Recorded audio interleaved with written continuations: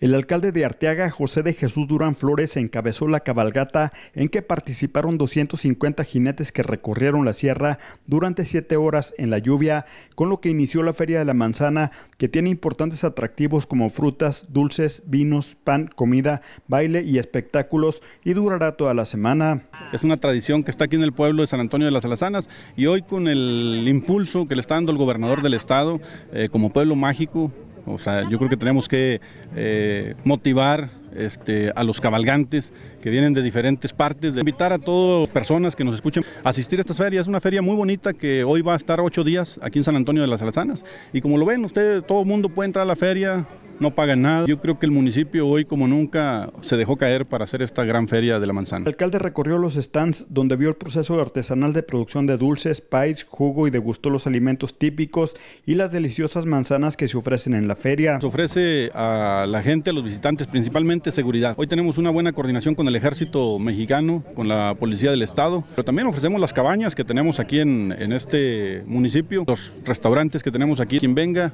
pues aquí en San Antonio va a ser bien recibido.